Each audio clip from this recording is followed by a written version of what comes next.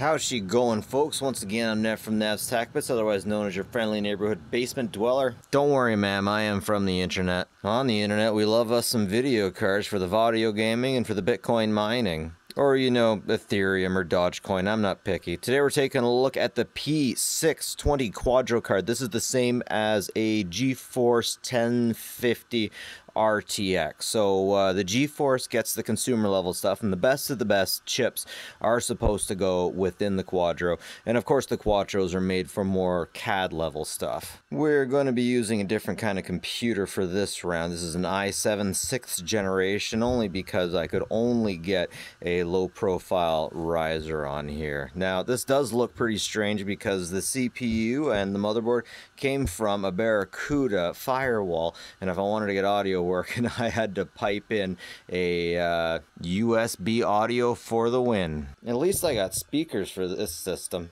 And of course, for the millennials, we gotta have the stickers in place of RGB lights. I gotta say, out the gate, I was somewhat surprised to see that you can't actually mine with this video card.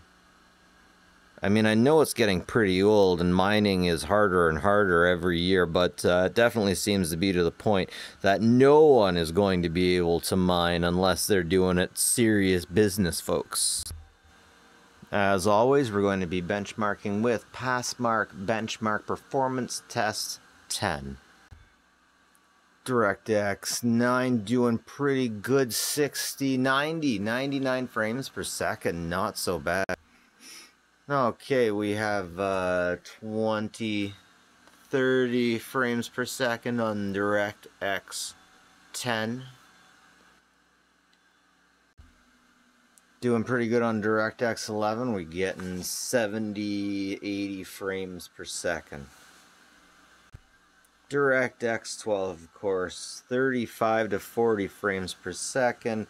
Looking real sharp. Looking real nice, real smooth.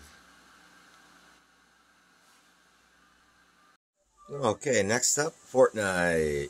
Waiting room's looking pretty good at uh, 60 frames per second. We got the bus looking pretty good. Geez, bus looks super good, no problems at all. We're looking around at about 90 frames per second. It looks like I'm going to be griefing Rick.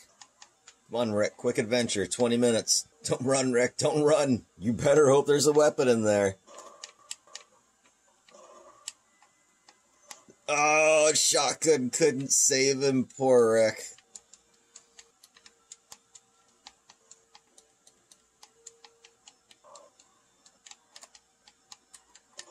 Ah, poor guy. Seems like a lovely time to have a nap. Why does the tent bounce when you gain health? What could he possibly be doing in there?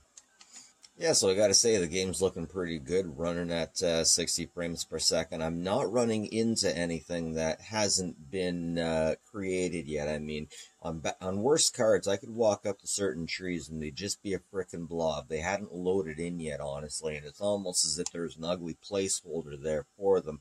And I'm not seeing this at all when I go through here. Everything looks like it's already fully loaded up. I'm not having uh, any graphical lags. And uh, yeah, so this card is pretty good. Jeez, and finally at Fire Crotch Statue.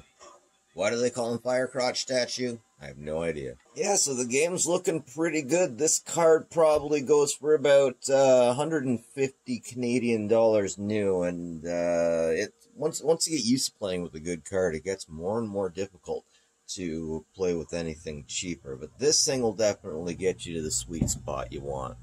Grand Theft Auto's looking pretty good at 60 frames per second. Yeah, definitely not looking so bad. And here we go, making a getaway at about 50, 60 frames per second. I'm liking the looks and feel of this. Boom! Probably shouldn't have done that to the cops. Oh well. So yeah, definitely not a bad graphics card for 150 bucks. If you got the money and if you're on a budget, you might want to check it out. The name Quadro just means that uh, the chips are the best that are available, the best that we can find and they like to put the top of the range uh, chips in the Quadro, and the rest of them are consumer level, and leave it with uh, the GeForce GTX. But really, I like what I'm seeing. You might want to check this one out. Get it used. And you get it used, and you know you'll be fine because nobody's using this card to mine Bitcoin. Because trust me, you can't. That's it for me. Nev from Nev's Tech Bits. Have a good one, folks. Take care of each other. Check the card out.